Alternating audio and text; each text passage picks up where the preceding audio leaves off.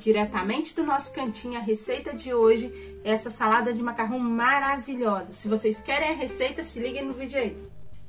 Pra gente fazer essa salada, eu começo cozinhando o macarrão. Minha água já tá fervendo, eu vou colocar um pouco de sal. 250 gramas de macarrão, pode ser o macarrão que vocês preferirem.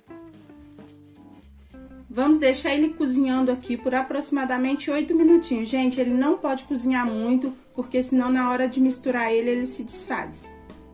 Enquanto o nosso macarrão cozinha, eu vou ralar aqui uma cenoura. Vamos cortar uma cebola em cubos bem pequenos. Agora aqui nós vamos cortar 150 gramas de presunto em cubinhos.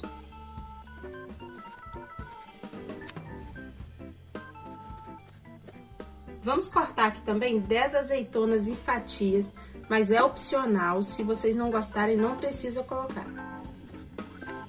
Vamos cortar aqui também um pouco de salsa e cebolinha, mas é opcional também, se vocês não quiserem, não precisam colocar.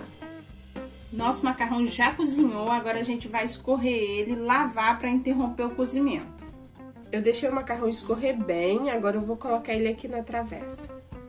Vou colocar cenoura, meia latinha de milho verde, o presunto picadinho, a cebola, azeitona e a salsa cebolinha. Agora, pessoal, é só colocar maionese e misturando tudo isso. Eu vou utilizar um vidrinho de maionese.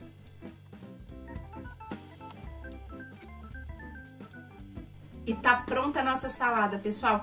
Olha que delícia que ela fica. Isso aí para comer com a carne assada é uma ótima pedida. Eu espero muito que vocês tenham gostado do vídeo de hoje. Se gostou, deixa um like pra gente, se inscreva no canal, porque a opinião de vocês é muito importante para nós. Obrigada por assistir os nossos vídeos e até o próximo.